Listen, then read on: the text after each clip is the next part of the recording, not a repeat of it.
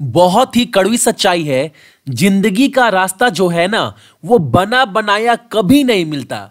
जो इंसान जैसा रास्ता अपने लिए बनाता है, उसको मंजिल जो है, वो वैसी ही मिलती है। ये बहुत सच्ची बात है। अब आपको बहुत अच्छे से पता है, आप अपने फ्यूचर के लिए कैसा रास्ता बना रहे हैं, ताकि आपको आगे चलकर उस प्रकार का मंजिल आपको मिल पाए। अगर इन फ्यूचर अगर आपको कुछ नहीं मिलता है तो आपका रास्ता आज का कहीं ना कहीं ठीक नहीं बना रहे ये आपको सोचना पड़ेगा। अगर आज आप मेहनत कर रहे हैं, रास्ता अच्छा बना रहे हैं, पूरे जी जान से लगे हुए तो विश्वास मानो, आने वाला जो कल है ना, वो आपका होगा। क्लास को स्टार्ट करूँगा और जिनका भी एग्ज़ाम है आज एस एसएससी सीजीएल का, उनको बेस्ट ऑफ़ लक एग्ज़ाम बहुत अच्छे से आप सभी देना। एक स्ट्रैटेजी वीडियो मैंने आपको कल रात को दिया था एक बजे। कि कल के एग्ज़ाम के बेस पर आज का एग्ज़ाम देते वक्त आपके माइंडसेट में क्या क्या चीज़ होना चाहिए? तो वो वीडियो आप सभी देख लेना।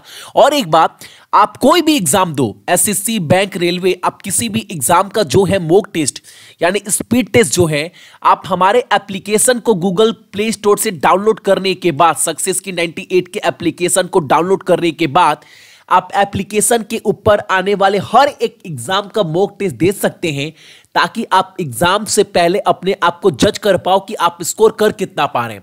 और 349 वाला पैकेज बाई करेंगे तो एक साल के वैलिडिटी के साथ आपको एक साल तक हर एग्ज़ाम का टेस्ट जो है वो दिया जाएगा।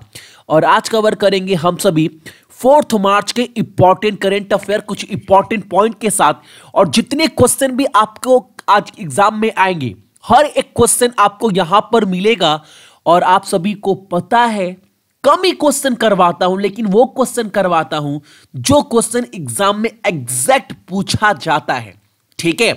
तो जिनका भी एग्ज़ाम आने वाला है एसएससी रेलवे बैंक आप कम से कम ये क्वेश्चन देखना, क्योंकि क्वेश्चन में करेंट अफेयर के क्वांटिटी बहुत ज़्यादा आ रहे हैं। ठीक है?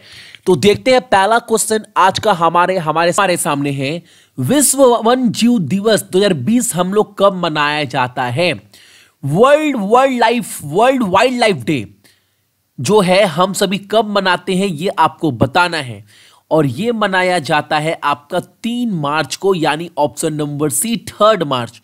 और एक बात और, इस बार का 2020 2020 का विश्व वन्य जीव दिवस का थीम विषय क्या है, ये भी आप सभी याद रखना। थीम से भी क्वेश्चन आपके एग्ज़ाम में बन रहे हैं। तो इस बार का वर्ल्ड वाइल्ड लाइफ डे का जो विषय है, वह है आपका पृथ्वी पर सभी जीवन को बनाए रखना। Sustaining all life on earth अगला क्वेश्चन हमारे सामने है, किस विश्वविद्यालय ने खेलो इंडिया यूनिवर्सिटी गेम्स 2020 जीता है?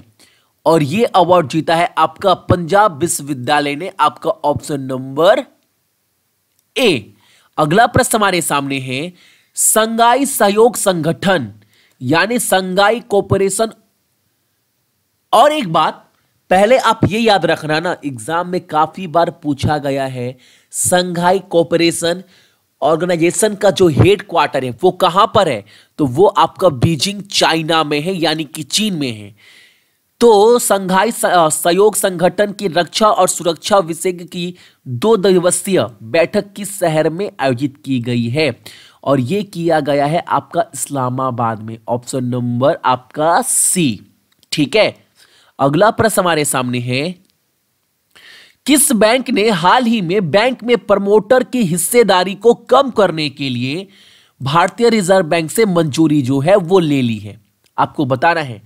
किस बैंक ने हाल ही में बैंक में प्रमोटर की हिस्सेदारी को कम करने के बारे में भारतीय रिज़र्व बैंक, यानी आरबीआई से मंजूरी ले ली है और ये ले लिया गया है आपका कोटक महिंद्रा बैंक के द्वारा, यानी ऑप्शन नंबर आपका बी। और आज का आप सभी का पहला प्रश्न यहीं से निकलकर आ रहा है आप सभी को कमेंट कर कर ये बताना है कमेंट बॉक्स में कि कोटक महिंद्रा बैंक के चेयरपर्सन कौन है? ये आपका पहला क्वेश्चन है। और कोटक महिंद्रा बैंक का हेड क्वार्टर कहाँ पर है? और कोटक महिंद्रा बैंक का टैग लाइन क्या है? ये तीन चीज़ आपको कमेंट कर कर बताना है। यह आपका आज का पहला प्रश्न है। अगला क्वेश्चन हमारे सामने है विश्व बैंक के अनुसार भारत को अगले दशक में अपने सड़क दुर्घटना के खतरों को कम करने के लिए कितने बिलियन का निवेश करने की आवश्यकता है? आपको बताना है, आप सभी को पता है, इंडिया में रोड एक्सीडेंट में बहुत जो है वो डेथ होती है। तो विश्व बैंक के अनुसार भारत को अगले दशक तक अपने सड़क दुर्घटना के खतरों को कम करने के लिए 109 बिलियन 109 बिलियन डॉलर का निवेश करने की जो है, वो आवश्यकता है। और वर्ल्ड बैंक के अध्यक्ष कौन है? तो David Malpass.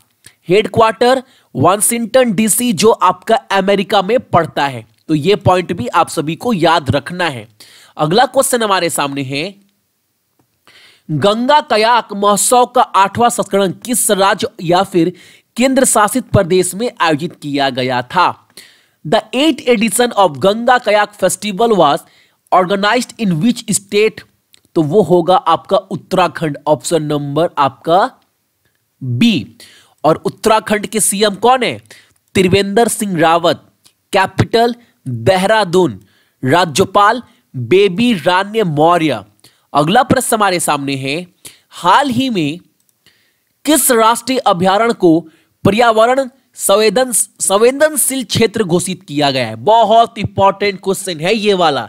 Which national sanctuary has recently been declared eco sensitive zone और यह घोषित किया गया है आपका नेशनल चंबल सेंचुरी को, यानी राष्ट्रीय चंबल अभ्यारण को। ऑप्शन नंबर आपका ए ठीक है, और एक बात। एग्ज़ाम में यह भी पूछ सकता है, ये नेशनल चैम्बल सेंचुरी कहाँ पड़ता है? तो ये पड़ता है आपका मध्य प्रदेश में। मैं बार बार बोलता हूँ एग्ज़ाम में क्वेश्चन वो बन रहा है जो टॉपिक चर्चा में है। तो उस क्वेश्चन के बारे में ए टू जेड आपको चीज़ें पढ़ने पड़ेगी। ठीक है? अगला प्रश्न हमारे सामने है। भारतीय पुरुष पुरुष हॉकी टीम को हाल ही में जारी F I H federation international hockey के अनुसार रैंकिंग में किस स्थान पर रखा गया है इंडिया टीम को? यानी हॉकी के मामले में इंडिया मेंस टीम को क्या रैंक दिया गया है?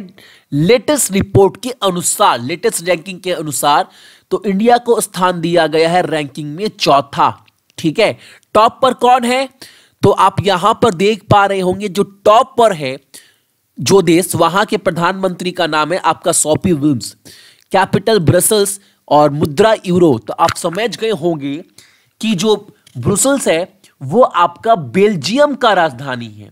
यानी इंडिया का जो रैंक है, वो चार नंबर पर है हॉकी में। लेकिन टॉप पर कौन है? तो टॉप पर सीट्स पर है भैया आपका बेल्जियम। ठीक है ना? अगला प्रश्न हमारे सामने है। नेशनल एंटी डोपिंग एजेंसी, यानी नेशनल एंटी डोपिंग एजेंसी ने हाल ही में किस भारतीय मुक्केबाज पर लगाए गए एक साल के प्रतिबंध को जो है, वो हटा दिया है। तो जो एक साल का बैन लगा था, आपका सुमित सांगवान पर उनके ऊपर से ये बैन जो है, वो रिमूव कर लिया गया है, हटा लिया गया है। और नाडा के सीओ कौन है? तो नाडा के सीओ है आपके नवीन अग्रवाल। और नाडा का हेडक्वार्टर कहाँ पर है? तो वो हमारे भारत में ही है, यानी कि इंडिया में। अगला प्रश्न हमारे सामने है वर्ल्ड हियरिंग डे कब मनाया जाता है? ये आपको बताना है।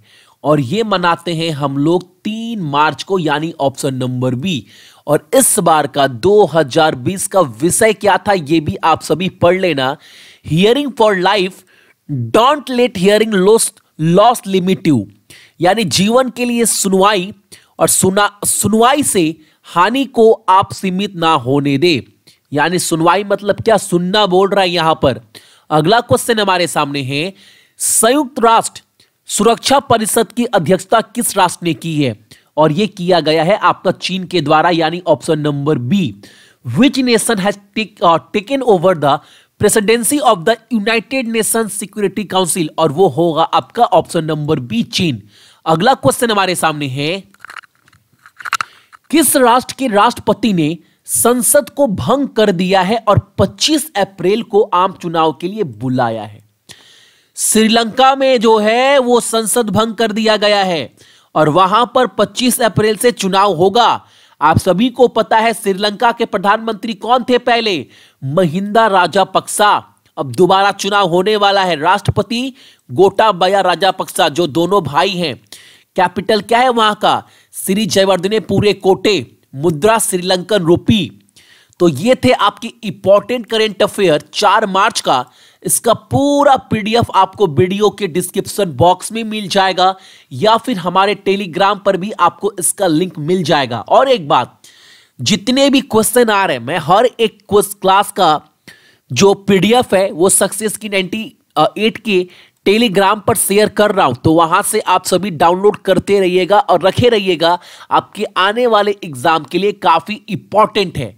सो मेरे जितने भी भाई बहन देख रहे हैं, सभी को बहुत बहुत गुड मॉर्निंग आपका दिन बहुत अच्छा हो और अपने साथ साथ अपने मम्मी और पापा, दोनों आदमी का ही ख्याल रखिएगा। ठीक है ना? चलिए।